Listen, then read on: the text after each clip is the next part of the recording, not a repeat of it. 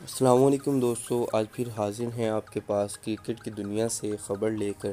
لیکن یہ خبر پاکستان والوں کے لیے زیادہ اچھی خبر نہیں ہے۔ تو آپ کو بتاتے ہیں کہ وہ خبر ہے کیا۔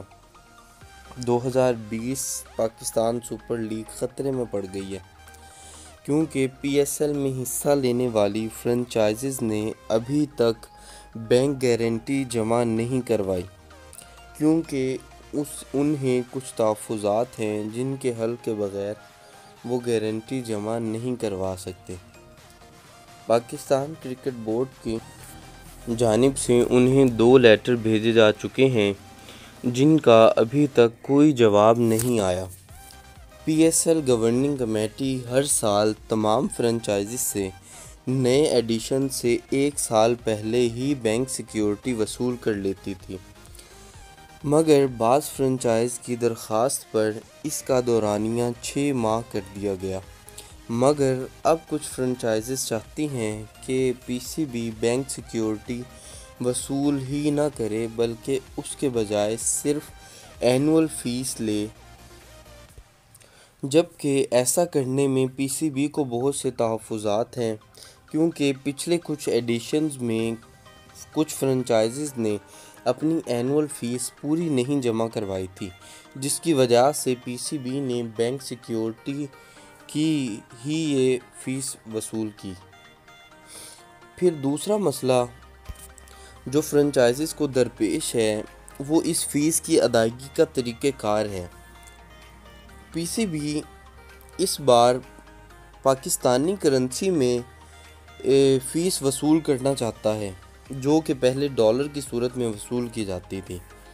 جیسا کہ پی ایس ایل دبئی میں کھیلا جاتا ہے، تو فرنچائزز کو ڈالر کی صورت میں اینول فیس کی بینک ٹو بینک ادائیگی میں آسانی ہوتی ہے۔ تو یہ مسئلہ ابھی ابھی حل طلب ہے۔ اور تیسرا مسئلہ یہ ہے کہ فرنچائزز بورڈ براڈ کاسٹ اور ٹکٹوں کی مد میں حاصل ہونے والی رقم میں اپنا حصہ بڑھانے کا مطالبہ کر رہی ہیں۔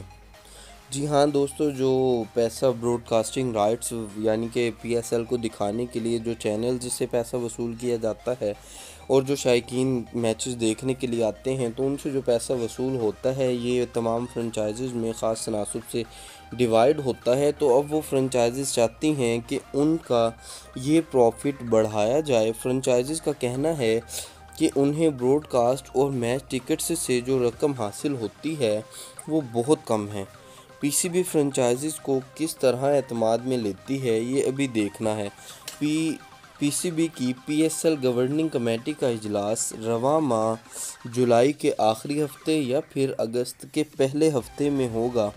تبھی پتہ چلے گا کہ پی ایس ایل ہوگا یا نہیں اور کون کون سی فرنچائزز اس ایڈیشن کا حصہ بنیں گی۔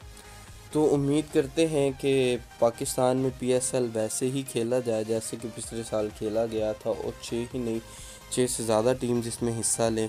لیکن ابھی تک کے حالات جو ہیں وہ کچھ زیادہ اچھے نہیں ہیں۔ لیکن امید یہی ہے کہ پی سی بی ان تمام فرنچائزز کو اعتماد میں ضرور لے لے گی اور انشاءاللہ ہمیں پھر سے پی ایس ایل انجوائے کرنے کا موقع ضرور ملے گا۔ یہ امید کرتا ہوں آپ کے لیے خبر بہت معلوماتی رہی ہوگی۔ تو ایسی ہی خبروں کے لیے ہمارے اس چینل کو سبسکرائب کر لیجیے ہماری اس ویڈیو کو لائک کریں اور اپنے دوستوں کے ساتھ شیئر کریں۔ بہت شکریہ، اللہ حافظ۔